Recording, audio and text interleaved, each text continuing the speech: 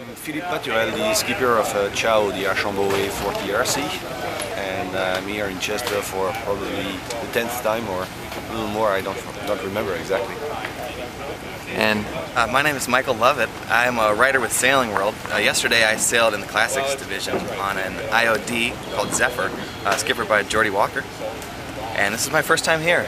great. So what can you tell me about the race yesterday? Uh, for us, we had a good day yesterday. I mean, we ended up with a third and a second, and uh, the conditions were probably a little lighter than uh, what we like, but uh, definitively a very nice fleet with about 16 boats in our A1 division. Um, Mahone Bay and Chester Yacht Club always knows how to welcome uh, all the competitors, so we were very pleased. Great.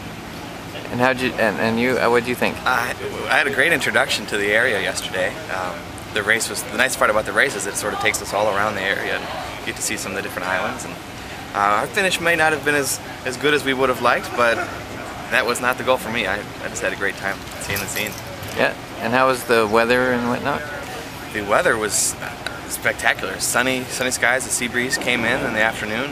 It was still pretty light. Probably didn't get over 10, but uh, it was a great way to, to get an in- introduction because there's plenty of plenty of room if you made any errors. You weren't paying too badly for them. Yeah. Uh, one of my crew was actually just coming over from the uh, Palma de Mallorca in the Balear on the Med, and he was racing uh, the Copa del Rey down there. And actually, uh, it was not too cold yesterday, so that's a good sign for Nova Scotia. Great. Any other final comments on the race or how are you looking forward to the rest of it? Or what do you expect? Well, I, I do hope that uh, the committee will be able to get us uh, two to three races a day, at least today and tomorrow, and uh, maybe two at least on the last day. Uh, the great uh, thing about that this year is that uh, we definitively, when you have uh, friends and crew that are coming from all over the place, like myself from Europe, uh, you really like to enjoy uh, having at least eight to ten races for four days. So that's that's great. I mean, they really improved that side of the race, and I really, really appreciate it. Great. And any comments? I'm just looking forward to hearing the Penguin Hoppers tonight. Here, that's the that's the band around town, so that'll be fun. Great.